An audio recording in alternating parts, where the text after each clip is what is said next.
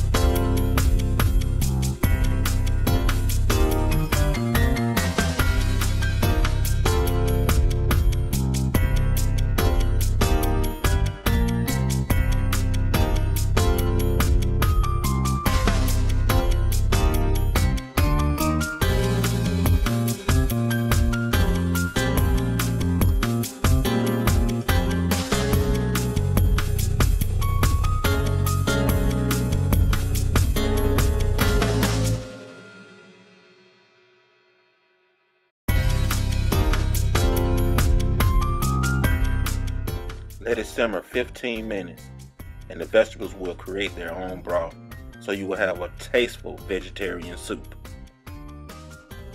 Make sure to check out the next episode when Chef ENT cooks loaded potato soup with smoked turkey legs.